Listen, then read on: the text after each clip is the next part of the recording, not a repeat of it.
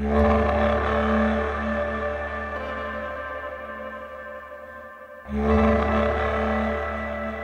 gestes simples pour optimiser sa connexion durant le confinement et éviter de saturer Internet. Pour rester connectés les uns aux autres sans surcharger le réseau, notre président vous demande d'appliquer quelques règles simples. Mes chers cons, euh, compatriotes, euh, mes chers compatriotes, en ce temps de reclusion, le digital est plus crucial que jamais. Que ce soit pour le télétravail, l'école de la distance, ou le sans contact avec les autres, ou encore pour le divertissement en journée. Alors, pour faire en sorte que les réseaux fonctionnent au mieux et éviter la surcharge, on suit quelques règles simples. Consigne numéro 1. On privilégie le Wi-Fi et on l'optimise. En effet, dès que l'on peut, on utilise le Wi-Fi même pour télécharger avec son smartphone. Pour optimiser sa connexion, voici quelques règles. Placez votre box Wi-Fi. au centre de votre vie Wi-Fi. ou à proximité des équipements utilisant le plus le Wi-Fi. Wi-Fi. L'idéal est de placer votre box en hauteur, sur un piédestal à environ un mètre du sol, sur un espace dégagé, afin de mieux faire vos prières au Wi-Fi. Pour éviter les interférences, pour éviter les interférences, éloignez votre box des objets métalliques ou en verre et de certains appareils électroniques, micro-ondes, babyphone, etc. Et pensez à retirer vos chapeaux de protection à base de papier aluminium. Enfin, éteindre votre décodeur si vous ne l'utilisez pas pour libérer de la bande passante sur le Wi-Fi. Hum, question, qu'est-ce que la bande passante? Aucune idée, je sais pas. Je, moi, je lis simplement les instructions. Mais euh, si tu veux savoir, tu peux demander aux techniciens de Scopelec parce que eux, ils continuent quotidiennement le chantier 5G malgré le confinement. Si vous avez une Livebox Play, Regardez en dessous de votre box. vous pouvez séparer vos fréquences de bandaison pour améliorer la performance de votre Wi-Fi et économiser du papier toilette. Si vous avez une Livebox 4 ou 5, le Wi-Fi intelligent le fait pour vous. Consigne numéro 2. On privilégie le téléchargement plutôt que le streaming. Eh oui, mieux vaut télécharger ces vidéos en Wi-Fi pour les regarder ensuite hors connexion. Mais n'oubliez pas d'effacer vos vidéos pornographiques et, Crise sanitaire oblige, limitez-vous à une feuille de PQ par branlette. hmm? Et comme d'habitude, on pense bien à effacer son historique avant de confier sa connexion à son enfant pour qu'il puisse aller se pointer sur Pronote. Pronote, le réseau social de l'école de la distance. Pronote, pour devenir un vrai pro de la note. Sinon, on peut aussi limiter la qualité d'image, ce qui allège la consommation de Bande, Bande passante. passante. Parce que après tout, on n'en a rien à foutre d'avoir des images de bonne qualité, pourvu que le flux soit bon. Rien ne sert d'avoir un contenu en 4K sur une tablette, et nous, on préfère la quantité à la qualité. C'est beau, c'est très beau. C'est de la résolution qui se remplace par la résilience. Ouais, il est super fort, notre président, il recycle tout. Consigne numéro 3. On désactive les transferts automatiques vers les clouds, ainsi que les téléchargements et mises à jour automatiques des applications mobiles. Mieux vaut les lancements manuellement aux heures creuses comme la machine à laver pour ne pas perturber les usages de type télétravail ou de divertissement en journée. Euh, c'est quoi le divertissement en journée?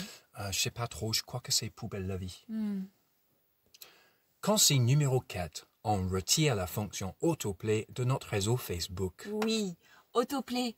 Vous savez, c'est ce fichu paramètre de Facebook qui lance les vidéos automatiquement lorsqu'on passe le petit doigt dessus? Et qui peut vous foutre la honte en place publique? Mais, mais bon, heureusement, notre gouvernement a pris des mesures fortes nécessaires pour nous protéger de la honte en place publique. En plus, l'autoplay consomme une quantité impressionnante de Bande passante. Rendez-vous donc dans les Paramètres, puis vidéo et photos, pour désactiver autoplay. au Ne l'autorisez que lorsque le smartphone est branché au Wi-Fi. Wi-Fi. Consigne numéro 5. On réduit la qualité du son de son application de streaming musical. Car ça aussi, on n'en a rien à foutre. Encore une fois, la quantité, pas la qualité.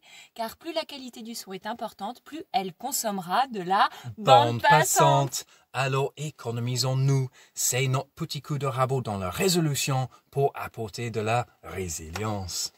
La plupart des applications comme Deezer ou Spotify permettent de régler la qualité sonore. Ça veut dire quoi? Bah c'est simple. Ça veut dire qu'on choisit pour toi du son de merde. Comme pour la vidéo, quand on écoute le même album plusieurs fois dans la journée, mieux vaut le téléchargement plutôt que de bouffer en streaming sa soupe de culture industrielle. Et puis c'est plus facile à réchauffer. Avec le téléchargement rien qu'en doigt d'auteur, en une journée, vous économisez jusqu'à 1 euro. Suffisant pour s'isoler davantage. Consigne numéro 6. Quand je télétravaille, je me connecte au VPN de l'entreprise uniquement quand j'ai besoin, car en fait, les salariés utilisent en général le Virtual Pornographic Network de leur entreprise pour télétravailler. Et oui, pour être considéré comme productif, beaucoup de salariés laissent brancher le VPN de l'entreprise toute la journée. Alors qu'en réalité, il faudra l'éteindre quand le sans contact n'est pas nécessaire, tout comme le pronote de vos prodolescents. Pronote, le réseau des pros. Par ailleurs, le renvoi d'appels sur les mobiles consomme aussi beaucoup de Bande bandes passante. passantes. Alors, sur ce répondeur professionnel, on donne uniquement son mail de contact afin de ne plus parler à personne. Ça y est, le programme d'isolement à 1 euro est enfin achevé. Les appels de midi vont bientôt arrêter. Consigne numéro 7. Même si la tentation est grande et les publicités nombreuses, on limite les jeux en ligne qui sont particulièrement gourmands en bande passante. Et on joue plutôt au Cluedo en famille avec les personnages comme Colonel Ketchup et l'oncle qui fait des olives.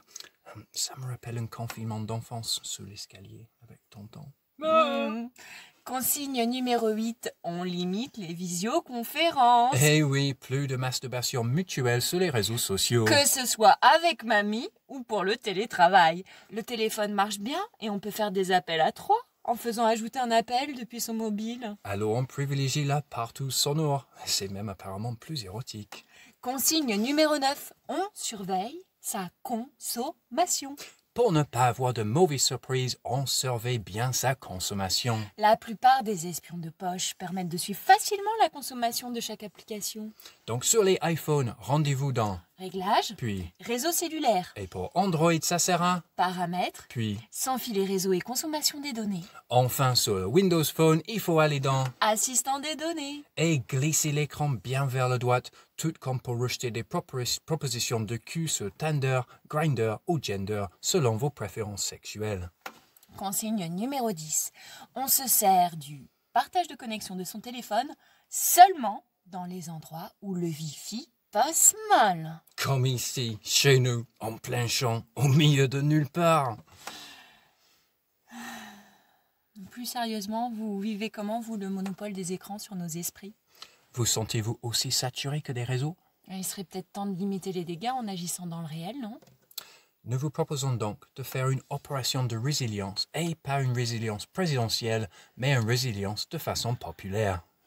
Alors pour commencer, on pourrait peut-être euh, au moins un jour par semaine résilier euh, le, Le télétravail, L'école de la distance. le divertissement industriel, parce qu'on risque juste de devenir une société du sans contact.